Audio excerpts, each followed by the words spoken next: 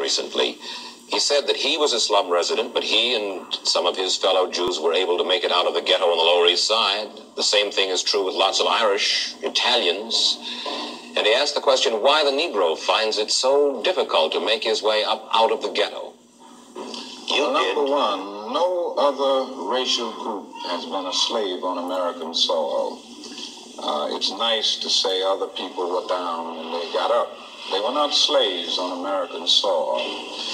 The other thing is that the Negro has had high visibility. And because of the prejudices existing in this country, his color has been against him. It's been against them, uh, and they've used this to keep him from moving up.